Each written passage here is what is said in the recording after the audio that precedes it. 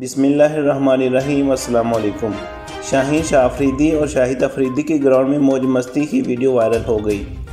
कौमी cricket team के सबक कप्तान और पी एस एल सेवन के सीज़न में कोयटा ग्लेडिएटर्स की नुमाइंदगी करने वाले शाहिद खान अफरीदी और लाहौर कलंदर के कप्तान शाहीन शाह अफरीदी की ग्राउंड में खुशगवार मोड में मौज मस्ती की वीडियो सोशल मीडिया पर वायरल हो गई।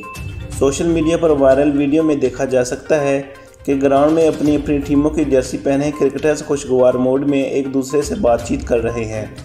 सबक कप्तान और नौजवान फास्ट बॉलर की इस वीडियो को देखकर शायकीन दिलचस्प तबसरे करने लगे। किसी ने शाहिद खान अफरीदी को हैंडसम सोसर और शाहीन शाह अफरीदी को दिलकश शाहीन करार दिया तो किसी ने कहा कि अफरीदी का तो लेवल ही अलग है।